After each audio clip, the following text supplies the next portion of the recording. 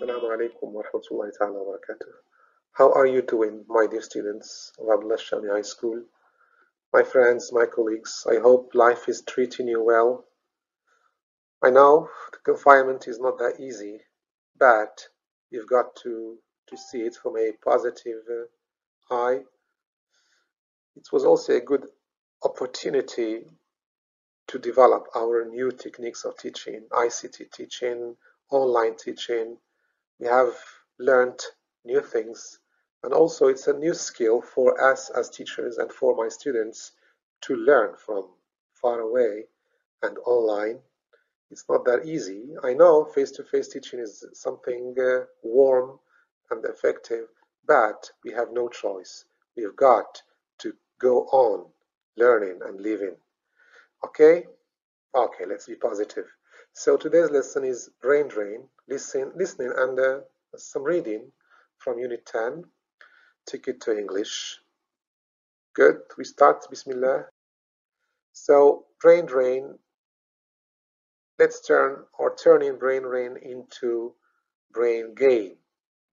We have brain drain, again I do, I do remind you, brain drain is the opposite of brain gain.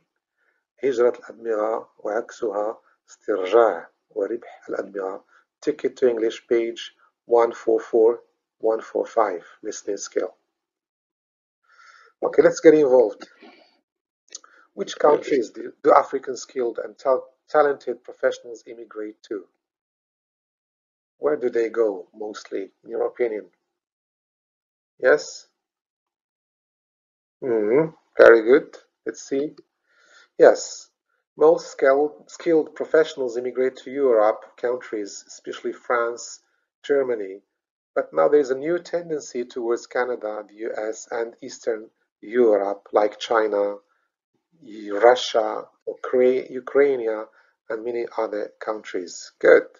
Two, is the, this immigration positive or negative for Africa and host countries? Can you explain? What do you think? Do you think immigration is positive for Morocco or negative? Is it positive for Europe or negative? Can you explain? Mm Yes. Okay, for Africa it's negative because the money invested on education of these brains go vain الأموال اللي كتضيع في التربية ديال التلاميذ والطلبة كتمشي هباء منثورة they go vain بمعنى كيمشيو هباء منثورة while the host countries دول مستقبلة أوروبا أمريكا unfortunately receive ready-made brains كيستقبلوا أدمغة جاهزة احنا وجدناها لهم and exploit them كيستغلوهم in the prosperity تطور of their technology and economy. This is very sad and uh, unfortunate. Good. Now, read the text below and answer these questions.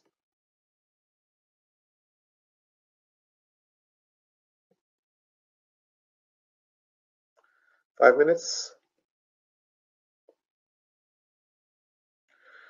Born in Akure, a village in African country, Philip Emeagwali was the oldest in his family of nine children. His family neighbors considered him as a prodigy because of his skills as math student. His father spent a significant amount of time nurturing his son's education. By the time Emeagwali reached high school, his facility with numbers had earned him the nickname of calculus. calculus. Fifteen months after Emeagwali's high school education, the civil war, Harb al broke out and his family fled to the eastern part of the country, he found himself drafted into the army of the seceding state Biafra. Okay, Emeagwali's family lived in a refugee camp. Okay, refugee camp, remember? Refugees. Mm -hmm. Until the war ended in 1970, more than half a million of Biafrans died of starvation during the Civil War. Philip Emeagwali traveled to the U.S. in 1974 to attend Oregon State University. Upon his arrival in the course of one week, he used a telephone, visited a library and saw a computer for the first time. Remember, he earned his degree in mathematics in 1977, holds a second master from the University of Maryland in applied mathematics. The ديبلوم ديال master, في الرياضيات it's not easy. While attending the University of Michigan on doctoral fellowship in 1990, Emigo, 1980, Emeagwali began work on a project to use computers to help identify untapped underground oil reservoirs. he في واحد المشروع ديالو في الدكتوراه للتنقيب عن بترول بواسطة الحواسيب. He grew up in his homeland an oil-rich country. Belarusia are very rich with petroleum. And he was someone who both understood computers and how to drill for oil. The drill, تنقيب الغاز. Why did Emeagwali's neighbors consider him a prodigy, in your opinion? why in your opinion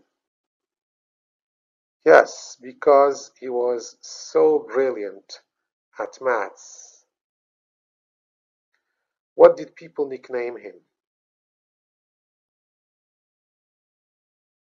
They nicknamed him Calculus. كيطولوا الحساب. اللقب ديالو. Why did his family live in a refugee camp? Yes, because of the civil war. Great. What was his doctoral project? المشروع ديالو في الدكتوراه. شنو كان الموضوع؟ Yes, let's see. Using computer to identify under earth oil. استعمال الحواسيب لتنقيب عن الغاز. Very good. Now, find the, in the text the synonym of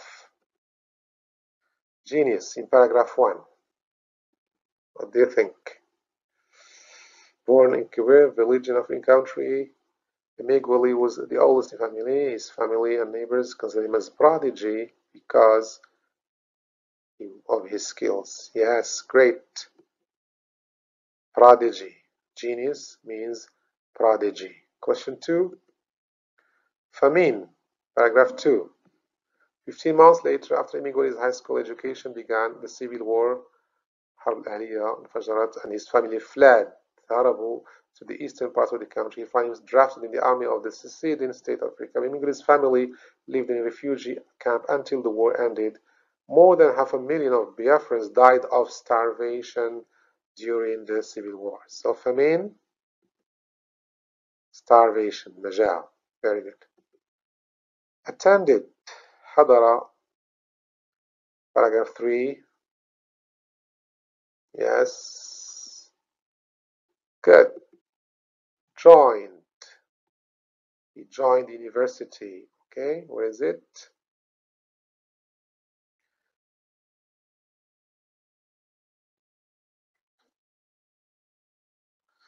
Question 4. Motherland, paragraph 4.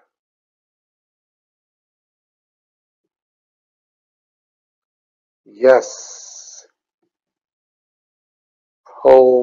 Homeland. Mother country, homeland. Very good.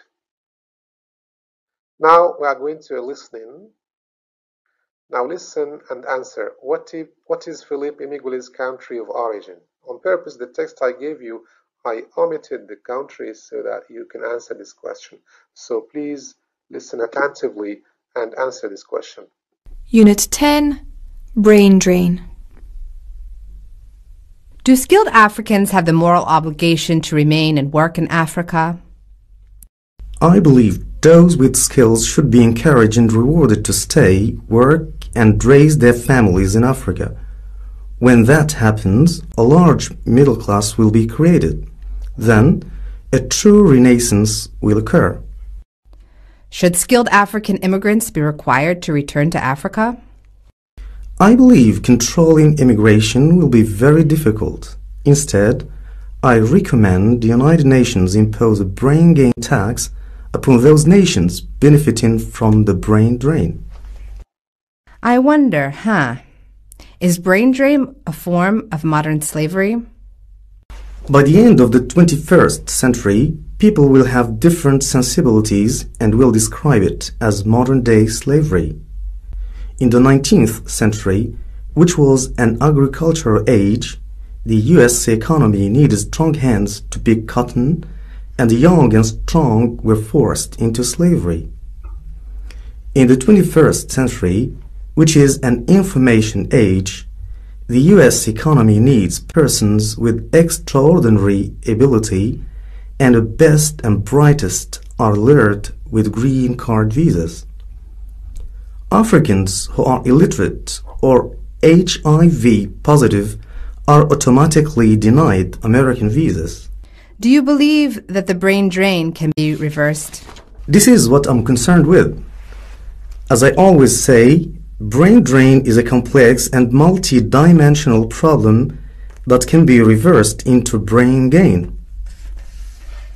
India is now reversing its brain drain and turning it into brain gain.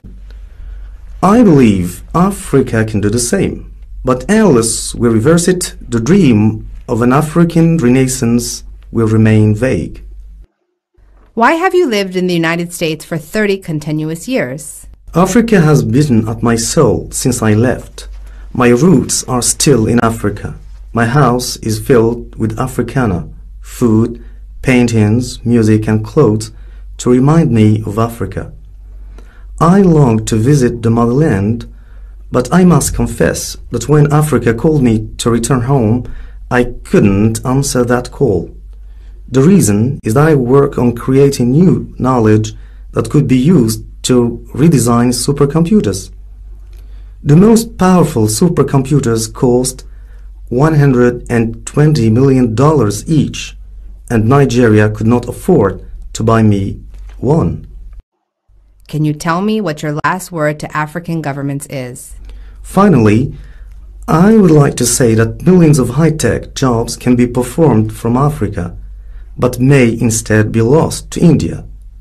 We must identify the millions of jobs that will be more profitable when transferred from the United States to Africa. Doing so will enable us to create a brain drain from the United States and convert it to a brain gain for Africa. Thank you, Dr. Phillips, for accepting to do this interview. My pleasure. Well then, so what is his origin? Emeagwali. This is uh, the picture of Emeagwali, Philip Emeagwali, famous engineer in computing. And the, the text that you have heard is a, an interview between him and a journalist. So the origin, very good. He is from Nigeria. Good. We move. Now listen again and choose the correct answer. Unit 10 Brain Drain. Do skilled Africans have the moral obligation to remain and work in Africa? I believe those with skills should be encouraged and rewarded to stay, work, and raise their families in Africa. When that happens, a large middle class will be created. Then, a true renaissance will occur. Should skilled African immigrants be required to return to Africa? I believe controlling immigration will be very difficult. Instead, I recommend the United Nations impose a brain gain tax upon those nations benefiting from the brain drain. I wonder, huh? Is brain drain a form of modern slavery?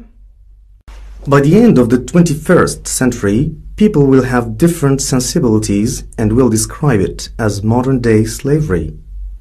In the 19th century, which was an agricultural age, the US economy needed strong hands to pick cotton, and the young and strong were forced into slavery.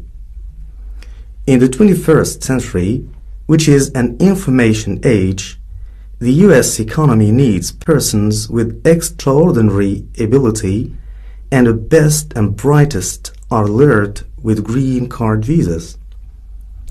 Africans who are illiterate or HIV positive are automatically denied American visas. Do you believe that the brain drain can be reversed? This is what I'm concerned with. As I always say, brain drain is a complex and multi-dimensional problem that can be reversed into brain gain. India is now reversing its brain drain and turning it into brain gain. I believe Africa can do the same, but unless we reverse it, the dream of an African renaissance will remain vague. Why have you lived in the United States for 30 continuous years? Africa has bitten at my soul since I left. My roots are still in Africa. My house is filled with Africana, food, paintings, music, and clothes to remind me of Africa. I long to visit the motherland, but I must confess that when Africa called me to return home, I couldn't answer that call. The reason is that I work on creating new knowledge that could be used to redesign supercomputers. The most powerful supercomputers cost $120 million each, and Nigeria could not afford to buy me one. Can you tell me what your last word to African governments is? Finally, I would like to say that millions of high-tech jobs can be performed from Africa, but may instead be lost to India. We must identify the millions of jobs that will be more profitable when transferred from the United States to Africa. Doing so will enable us to create a brain drain from the United States and convert it to a brain gain for Africa. Thank you, Dr. Phillips, for accepting to do this interview. My Very good. pleasure. Very good. Now, what do you think? Does the interview describe the brain drain phenomenon, explain brain drain's effects, stop brain drain Africa, or reverse brain drain into brain gain? Hmm. Very good. It's a reversing brain drain, brain gain, brain drain into brain drain. This is the main theme. Good. Now, how can the UN help in controlling brain drain, in your opinion? Are you going to listen again? Or you just answer? Unit 10 Brain Drain. So the UN can help controlling brain Do drain. skilled Africans have the moral obligation to remain and work in Africa? I believe those with skills should be encouraged and rewarded to stay, work, and raise their families in Africa. When that happens, a large middle class will be created. Then, a true renaissance will occur. Should skilled African immigrants be required to return to Africa? I believe controlling immigration will be very difficult. Instead, I recommend the United Nations impose a brain gain tax upon those nations benefiting from the brain drain. I wonder, huh? Is brain drain a form of modern slavery?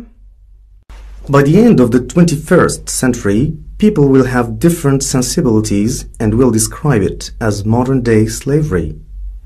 In the 19th century, which was an agricultural age, the US economy needed strong hands to pick cotton, and the young and strong were forced into slavery.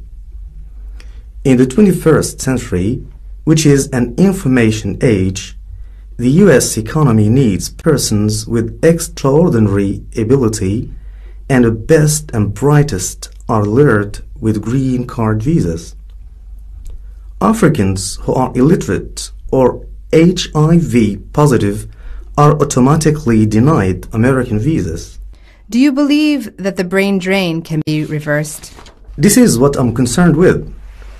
As I always say, brain drain is a complex and multi-dimensional problem that can be reversed into brain gain. India is now reversing its brain drain and turning it into brain gain.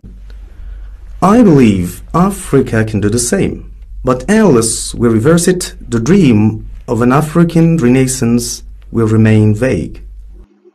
Why have you lived in the United States for 30 continuous years? Africa has bitten at my soul since I left. My roots are still in Africa.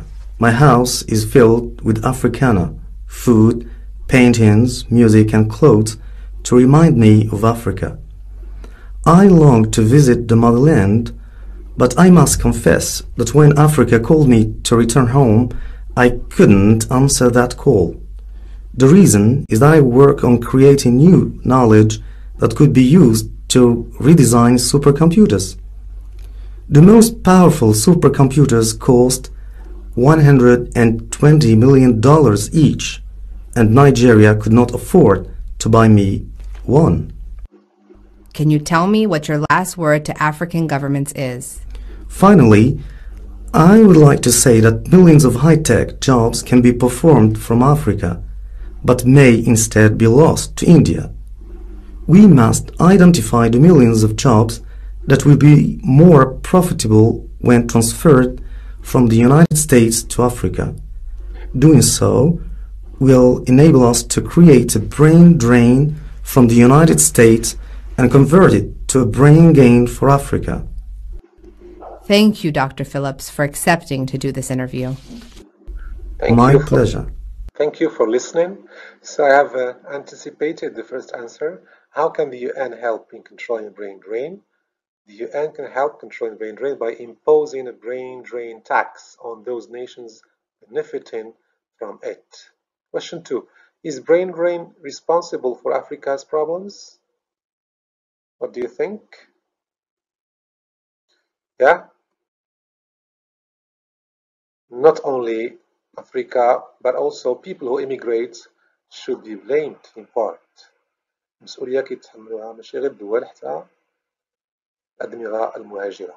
How does Philip Emeagwali compare brain drain to slavery? Slavery هي العبودية.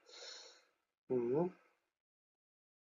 Yes, he said that in the 19th century economy needed strong hands.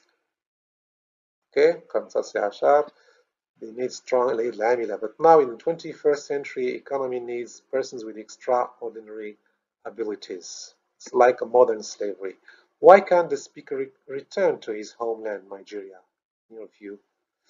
Yes, because in his, he is working on creating new knowledge that can be used to redesign supercomputer and his home country cannot afford to buy him one, to buy him one because the supercomputers costs more than one million dollars. Okay, very good. Now we move to the last one. Yes, please look at these caricatures and give your opinion. What do you think of this opinion? Look at this one. We have an African continent. Okay, so please ruminate your ideas and try to give your opinion. Thank you so much and see you again. Stay home and stay safe.